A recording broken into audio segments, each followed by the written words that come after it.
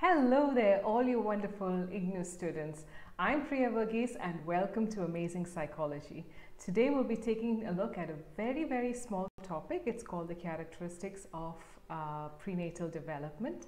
And um, it's a very small topic, but it has still been asked for the exam, so we can't skip it. So without further ado, let's get started.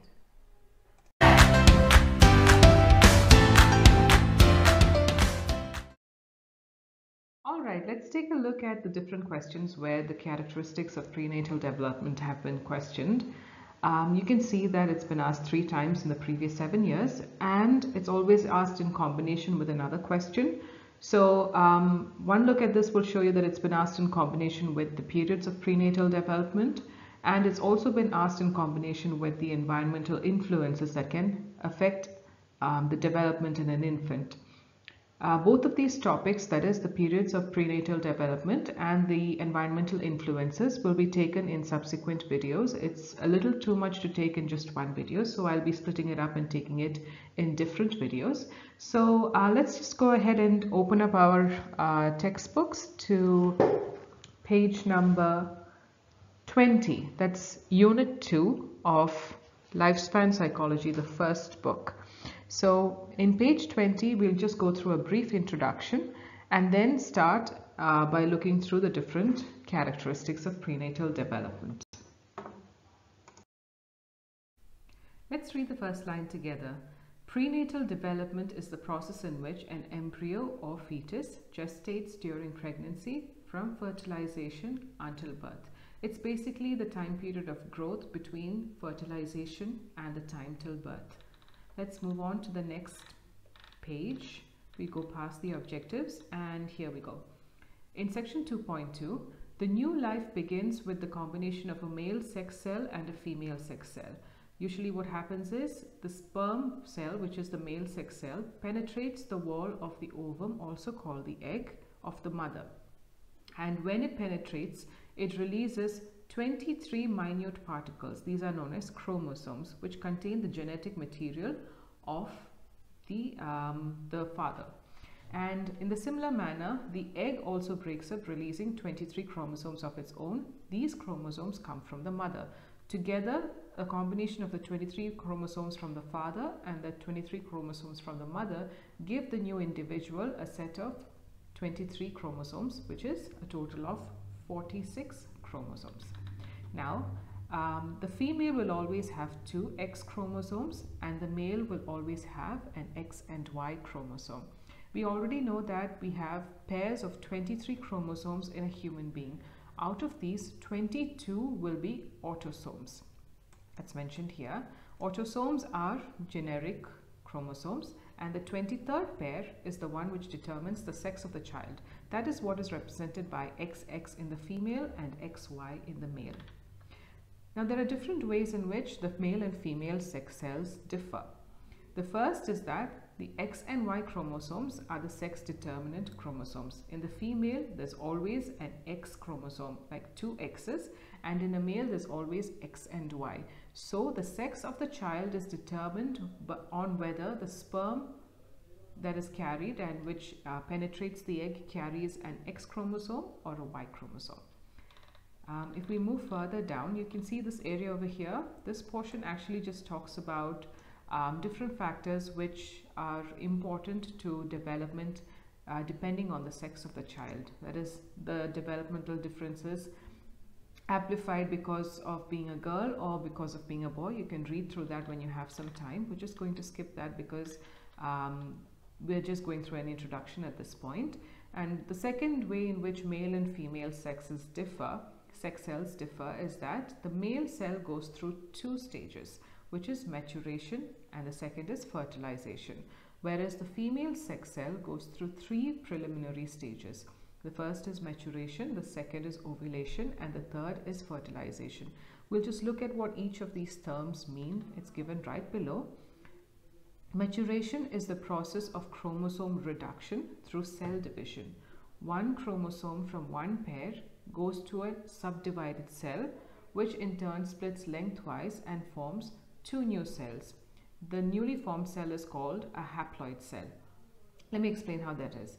So when the cell divides, the um, the genetic material also divides the first the genetic material divides and then the cell divides and so you will have uh, in 23 pairs of chromosomes a, a, male cell will contain 23 pairs of chromosomes uh, the newly formed two cells will contain half so when you say pairs it means two of each so if it's 23 pairs there's a total of 46 chromosomes when the splitting takes place one cell will have only 23 chromosomes. The other cell which is split will also have only 23 chromosomes. So it's exactly half the number that is normally contained in a cell.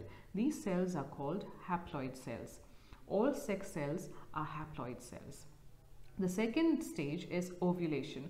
Ovulation is the time um, during which the mature egg escapes uh, during the menstrual cycle. So a mature egg is released during the process of ovulation. So from the ovaries, you have mature egg cells. These egg cells are released during the process of ovulation and it only happens within females.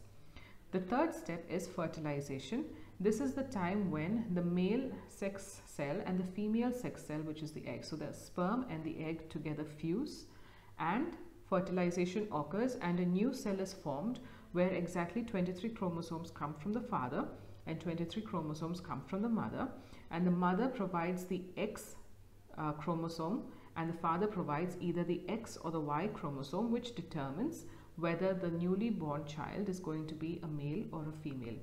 This fertilization or fusion between the sperm cell and the egg cell usually happens when the egg cell is still in the fallopian tube it hasn't reached down to the uterus. It's always the fertilization occurs inside the fallopian tube. Okay, now let's move on to the characteristics of prenatal development. The first and foremost thing is that it's the most important and the first period in development in lifespan. Um, this is the first and most important period within the development of a child.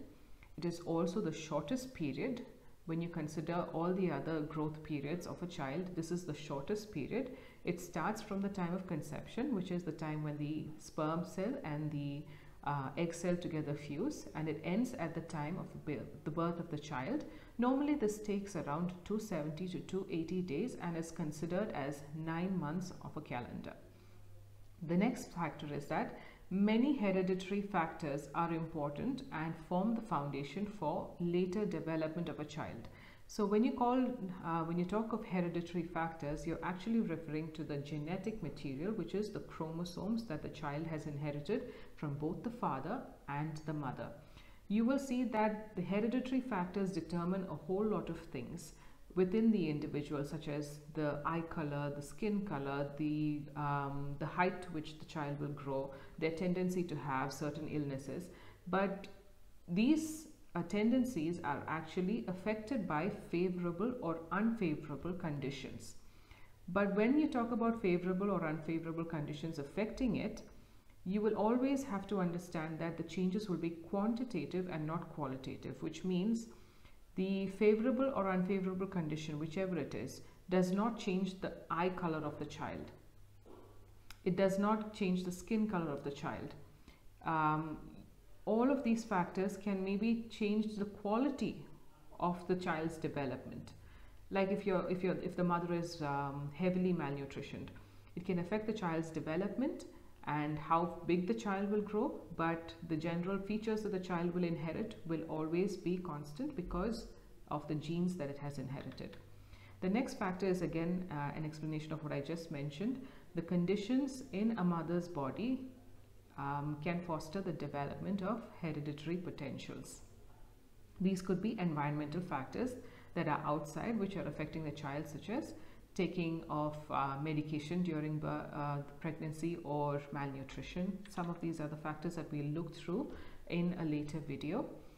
Uh, another important characteristic is that at the time of conception, the sex of the baby is fixed.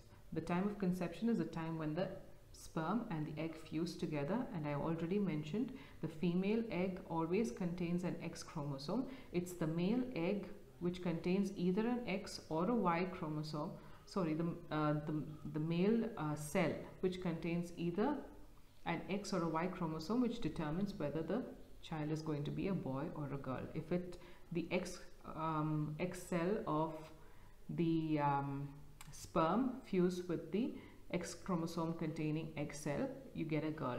If the Y uh, chromosome containing sperm cell fuses with an X chromosome containing X cell, you get a boy.